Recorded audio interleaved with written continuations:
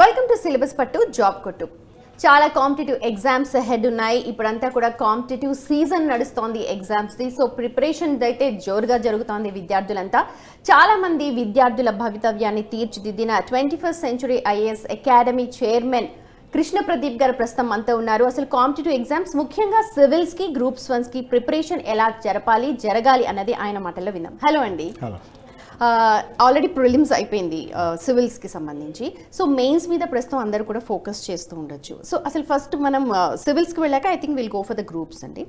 ఎలా ప్రిపరేషన్ మొదలెట్టాలి? ఇప్పటికే మొదలెట్టేసి ఉంటారు కానీ ఇంకెలా థ్రస్ట్ పెట్టాలి దాని మీద? ఇప్పుడు మనకి సెప్టెంబర్ ఫిఫ్టీన్త్ నుంచి సిక్స్టీన్త్ నుంచి సివిల్స్ మెయిన్స్ ఎగ్జామ్స్ ఉన్నాయి. యా సో సుమారుగా ఒక సిక్స్టీ ఫైవ్ డేస్ ఇప్పటి నుంచి ఉంటాయి మనకి.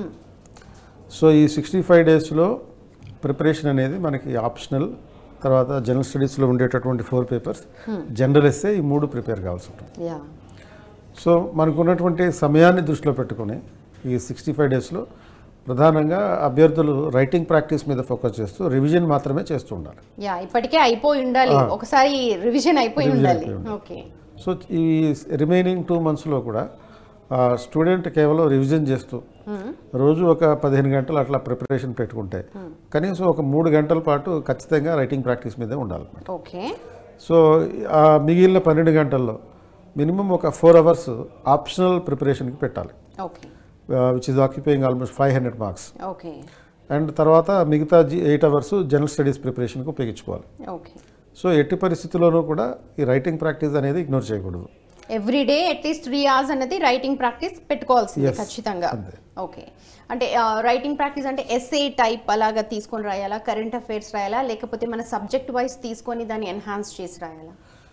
మనకి మొత్తం నైన్ పేపర్స్ ఉన్నాయి. సో ఈ నైన్ పేపర్స్లో ఇండియన్ లాంగ్వేజ్ పేపర్ తర్వాత ఇంగ్లీష్ జనరల్ ఇంగ్లీష్ పేపర్ ఉంటుంది.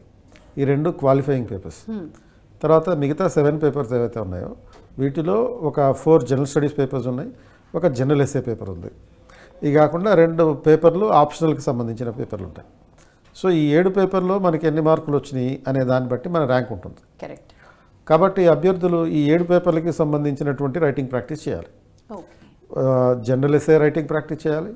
అలాగే జనరల్ స్టడీస్ ఫోర్ పేపర్స్కి సంబంధించినటువంటి ప్రాక్టీస్ చేయాలి. అండ్ ఆప్షనల్ సంబంధించినటువంటి ప్రాక్టీస్ కూడా చేయాలి. సో అప్పుడు ప్రతిరోజు మూడు గంటలు పెట్టుకుంటే ఒక one and half hour general studies ప్రాక్టీస్కి ఒక one and half hour optional ప్రాక్టీస్కి ఉండాలి. కనీసం ప్రతి వారం ఒక మూడు నాలుగు ఎస్ఏస్ కూడా రైటింగ్ ప్రాక్టీస్ చేయాలి. ఓకే ఓకే నార్మల్గా ఆప్షనల్ అంటే వాళ్ళకి అందులో మంచి పట్టు ఉంటుంది. కానీ జనరల్ స్టడీస్ మిగిలిన ఏవైతే ఉన్నాయో అవి ఇప్పుడు అంతా యాడప్ చేసుకుంటూ ఉండాలి. ఎందుకంటే ఆల్రెడీ వాళ్ళు మెటీరియల్ కలెక్ట్ చేసుకొని ఉంటారు. ఇప్పుడు మనకున్న ఈ టూ మంత్స్లో దాన్ని ఎలా ఇంకొంచెం ప్రిపరేషన్ బాగా చేసుకోవాలంటే ఏమేమి పెట్టుకోవాలి మైండ్లో సో ఇప్పుడు ఈ బేసిక్ సిలబస్ దృష్టిలో పెట్టుకొని కరెంట్ ఇష్యూస్ ఏవైతే ఉన్నాయో ఆ కరెంట్ ఇష్యూస్ అనుసంధానం చేసుకుంటూ ప్రిపరేషన్ పెట్టుకోవాలి. Okay I last one question ఎలాంటి క్వశ్చన్స్ వచ్చే అవకాశం ఇప్పుడు ఉంది ఇప్పుడు మనకు ఒక డేట్ తెలుసు సో సెప్టెంబర్ అనుకుంటున్నాం. సో ఎలాంటి క్వశ్చన్స్ వచ్చే అవకాశం ఉంది? పర్టికులర్గా సో సపోజ్ ఇప్పుడు ఈ కరెంట్ ఇష్యూస్ రిలవెంట్గా ఉండేటటువంటి అంశాల మీద ఫోకస్ చేస్తారు. అంటే ఇప్పుడు సపోజ్ ఏవైతే రాజ్యాంగానికి సంబంధించిన కొన్ని వివాదాలు ఉంటాయి. ఉదాహరణకి కర్ణాటకలో హిజాబ్ వివాదం ఉంది. సో ఆ హిజాబ్ వివాదం నేపథ్యంలో right to freedom of religion and conscience అనే దాని మీద క్వశ్చన్ అడగవచ్చు ఓకే. సో అప్పుడు హిజాబ్ వివాదం అనేటటువంటి అంశాన్ని ఉదాహరణగా తీసుకుంటూ ఈ బేసిక్గా కాన్స్టిట్యూషనల్ పర్స్పెక్టివ్లో ఎటువంటి రాజ్యాంగపరంగా మనకి ఉన్నటువంటి మత హక్కు అండ్ మత స్వేచ్ఛ వీటికి సంబంధించినటువంటి అంశాల మీద క్వశ్చన్ ఉండొచ్చు. అలాగే దేశవ్యాప్తంగా ప్రస్తుతం ఆ గవర్నర్ పాత్ర అత్యంత వివాదాస్పదంగా ఉంది. అంటే అటు తమిళనాడులో కానీ లేకపోతే కేరళలో కానీ ఆర్ వెస్ట్ బెంగాల్లో కానీ అండ్ మహారాష్ట్రలో అండ్ ఈవెన్ తెలంగాణలో కూడా. గవర్నర్ విధ- ప- పదవి అత్యంత వివాదాస్పదమైన పదవిగా ఉంది. ముఖ్యమంత్రికి గవర్నర్కి వివాదాలు జరుగుతూ ఉన్నాయి.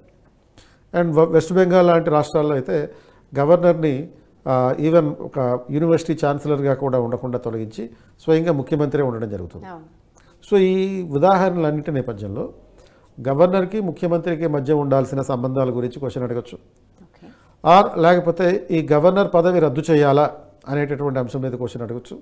ఎందుకంటే ఈ మధ్య రీసెంట్గా వెస్ట్ బెంగాల్ చీఫ్ మినిస్టర్ కానీ తమిళనాడు చీఫ్ మినిస్టర్ కానీ ఆర్ కేరళ చీఫ్ మినిస్టర్ కానీ గవర్నర్ పదవిని గవర్నర్ వ్యవస్థని రద్దు చేయాలనేటటువంటి ఒక డిమాండ్ ముందుకు తెచ్చారు. ఆ నేపథ్యంలో మనకి పాలిటీలో ఈ గవర్నర్ పదవిని రద్దు చేయాల్సినటువంటి అవసరం గురించి కూడా క్వశ్చన్ అడగచ్చు. సో అలాగే మనకి రాజీవ్ గాంధీ అసాసినేషన్ కేసులో క్షమాభిక్ష పెట్టబడినటువంటి ఏజీ పెరారివాలని ఉన్నారు. ఆ నేపథ్యంలో కూడా గవర్నర్కి క్షమాభిక్ష పెట్టేటటువంటి అధికారాల గురించి కూడా క్వశ్చన్ అడగచ్చు. ఓకే. సో అట్లా కరెంట్ ఇష్యూస్ ఏవైతే ఉంటాయో వాటికి అనుసంధానం చేసుకుంటూ క్వశ్చన్ అడుగుతారు అనమాట ఓకే ఫైన్. ఇప్పుడు ఆప్షనల్ కాకుండా దీనికి సంబంధించి చెప్పారు. ఇప్పుడు గ్రూప్స్కి ఎలా ప్రిపేర్ అవ్వాలి? Mains and prelims and mains both. ఇప్పుడు ఆల్రెడీ మనకి తెలంగాణలో గ్రూప్ వన్ నోటిఫికేషన్ వచ్చింది. అక్టోబర్ ఫిఫ్టీన్త్కి సిక్స్టీన్త్కి మనకి ప్రిలిమినరీ ఎగ్జామ్ ఉంది. సో ఈ ప్రిలిమినరీ ఎగ్జామ్లో ప్రస్తుతం తెలంగాణ అభ్యర్థులు అయితే పూర్తిగా ప్రస్తుతం ఈ రాబోయే రోజుల్లో కేవలం ప్రిలిమ్స్కి మాత్రమే ఫోకస్ చేస్తూ ప్రిపేర్ అవ్వాలి. అండ్ ఈ ప్రిపరేషన్ అంతా రివిజన్ మీద ఉండాలి ఎక్కువ. ఇక రీసెంట్గా ఏపీపీఎస్సి కూడా టూ థౌజండ్ ఎయిటీన్కి సంబంధించిన నోటిఫికేషన్ సంబంధించినటువంటి రిజల్ట్స్ ఇచ్చారు. సో ఆ రిజల్ట్స్ నేపథ్యంలో ఏపీపీఎస్సీ చైర్మన్ గ్రూప్ వన్కి సంబంధించి కొత్త నోటిఫికేషన్ కూడా జారీ చేస్తామని పేర్కొనడం జరిగింది. ఓకే. సో ఆ కాంటెక్స్లో ఈ ఇక్కడ ఏపీపీఎస్సీ అభ్యర్థులైతే ప్రిలిమ్స్ కమ్ మెయిన్స్ ఓరియంటేషన్లో ప్రిపరేషన్ పెట్టుకోవాలి. రెండు సైమల్టేనియస్గా రెండు. చేయాలి. ఓకే. ఎందుకంటే మనకి కొన్ని కోర్ సబ్జెక్ట్స్ ఉంటాయి. ఆ కోర్ సబ్జెక్టులు ప్రిలిమ్స్లో ఉంటాయి అలాగే మెయిన్లో ఉంటాయి. ఓకే. అంటే అది ఆబ్జెక్టివ్ తరహాలోనూ చదవాలి డిస్క్రిప్టివ్ తరహాలో కూడా చదవాలి. జనరల్ ఎస్ఏ అలాగ ఉంటుంది. అండ్ ఏపీపీఎస్సీలో కానీ లేకపోతే ఏపీపీఎస్సీలో రాబోయే నోటిఫికేషన్ విషయంలో కానీ ఆర్ ప్రస్తుతం తెలంగాణ గ్రూప్ వన్ నోటిఫికేషన్లో కానీ ఉన్నటువంటి కామన్ పాయింట్ ఏంటంటే రెండిట్లోనూ ఇంటర్వ్యూలు లేవు. సో ఇంటర్వ్యూలు రద్దు చేయడం జరిగింది. కాబట్టి మన సక్సెస్ అనేది కేవలం మెయిన్స్లో వచ్చే మార్కుల ఆధారంగా ఉంటుంది. కాబట్టి మెయిన్స్ మీద ఎక్కువ దృష్టి పెట్టాలి. సో ఎక్కువ రైటింగ్ ప్రాక్టీస్ మీద ఫోకస్ చేయాలి.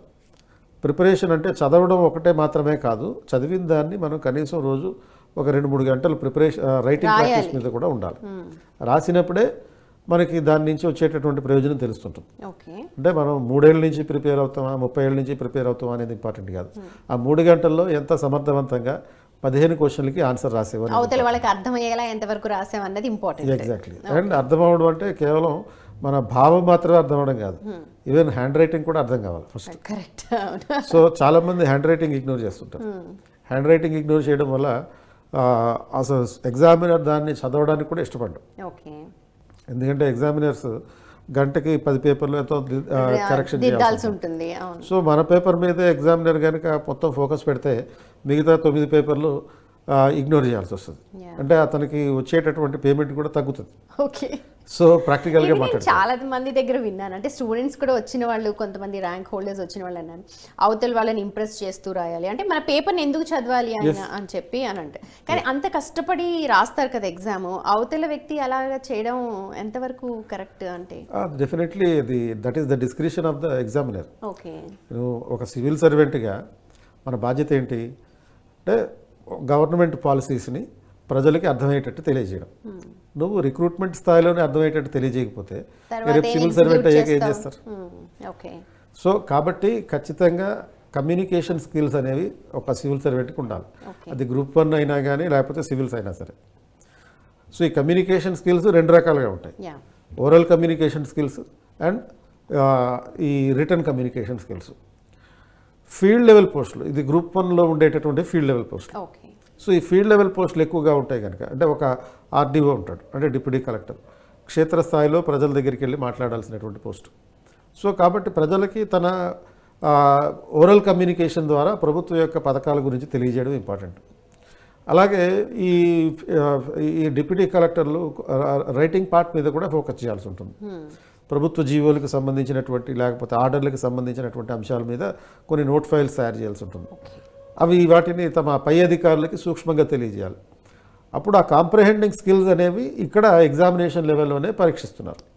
కాబట్టి మనం రాసేటప్పుడు దస్తూరి అందంగా ఉండడం అనేది ఇంపార్టెంట్ హ్యాండ్ రైటింగ్ అనేది చాలా అందంగా ఉండడం అంటే మళ్ళీ క్యాలిగ్రఫీ అక్కర్లేదు. ఓకే సో మనం రాసినది ఫస్ట్ మనం మళ్ళీ చదవగలగాలి. రెండు మనం రాసింది అవతల వ్యక్తి కూడా చదవగలగాలి. ఈ రెండింటినీ చేయగలిగినప్పుడు అభ్యర్థి మంచి కమ్యూనికేషన్ స్కిల్స్ ఉన్నట్టు అవుతుంది. ఓకే. అందులో ఇన్కార్పొరేట్ చేయాల్సిన అంశాలు అంటే లీగల్ ఇష్యూస్ లేకపోతే కరెంట్ అఫైర్స్ ఇలాంటి ఇష్యూస్ చాలా ఉంటాయి కదా అదొకసారి చెప్తారు. సో మనకి గ్రూప్ వన్లో ప్రధానంగా మెయిన్స్లో ఉండేటువంటి అంశాల్లో పాలిటీ హిస్టరీ తర్వాత geography economy science and technology ఇటువంటి డిస్క్రిప్టివ్ ఆస్పెక్ట్స్ ఉంటాయి.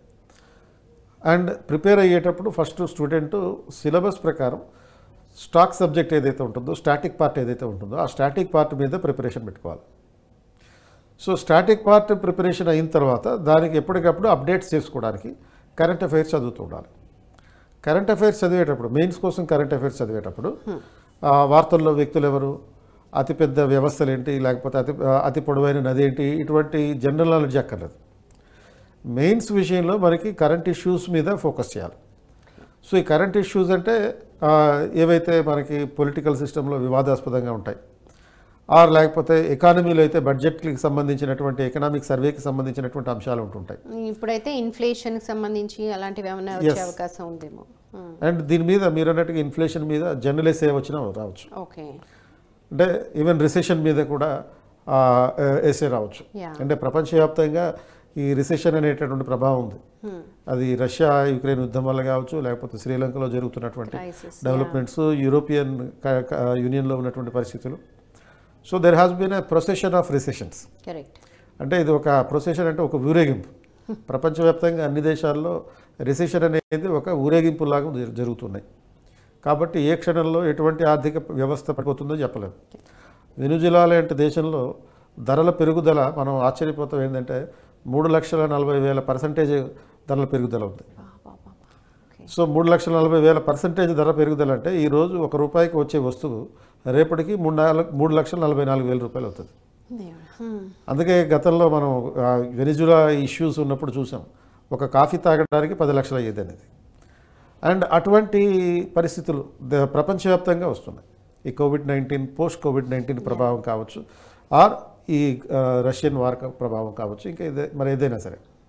కాబట్టి దాని మీద జనరల్ ఎస్ఏ కూడా అడగచ్చు. ఓకే. ఎందుకంటే మనకి national international and regional issues మీద జనరల్ ఎస్సెస్ ఉంటాయి. కాబట్టి ఈ ప్రొసెషన్ ఆఫ్ రిసెషన్ అనేటటువంటి టర్మినాలజీ ఈ మధ్యకాలంలో ఫేమస్ అవుతుంది. దాని మీద ఒక ఎస్సే అడగచ్చు. అండ్ అదే అంశాన్ని లేకపోతే జీడిపికి అనుసంధానం చేస్తూ ఎకానమీలో క్వశ్చన్ అడగచ్చు. సో అట్లా మనకి ప్రతి పేపర్లోనూ కరెంట్ డెవలప్మెంట్స్ ఏవైతే ఉంటాయో ఆ కరెంట్ డెవలప్మెంట్స్ని అనుసంధానం చేసుకుంటూ చదవాల్సి ఉంటుంది. యా. ఓకే. ఇప్పుడు అనుసంధానం చేసుకుంటూ చదవాలి. కానీ దాన్ని ఎలా ఇది ఇంపార్టెంట్ అని చెప్పి ఇప్పటికే అర్థమైపోయి ఉంటుంది. ఆల్రెడీ చదువుతున్న వాళ్ళకి. అండ్ అకాడమీస్లో చదివే వాళ్ళు లేకపోతే ఇన్స్టిట్యూషన్స్లో చదివే వాళ్ళకైతే మెటీరియల్ సబ్ ఇస్తూ ఉంటారు. బట్ ఓన్ ప్రిపరేషన్ కొంతమంది చేస్తూ ఉంటారు. వాళ్ళు ఎలా ప్రిపేర్ అవ్వాలి? సో సెల్ఫ్ ప్రిపరేషన్ చేసేవాళ్ళు ఏం చేయాలంటే ఫస్ట్ సిలబస్ మొత్తాన్ని బై హార్ట్ చేయాలి.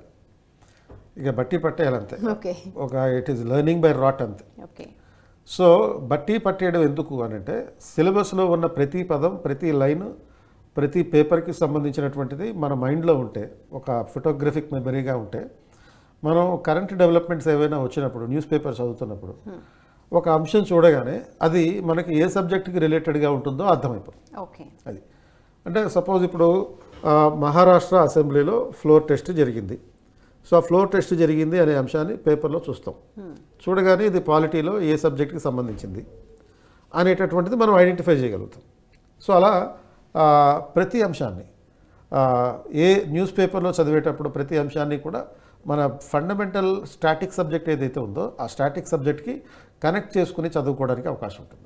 ఓకే రైట్ అండి. Thank you so much Krishna Pradeep గారు. థ్యాంక్స్ లాట్ విన్నారు కదా సిలబస్ని బట్టి కొట్టేయాలి. రాత్రి నిద్రలే పడినా సరే సిలబస్ని ఇలా టక టక టక చెప్పేయాలి. అప్పుడే మీరు job కొట్టగలరు. Thank you so much for watching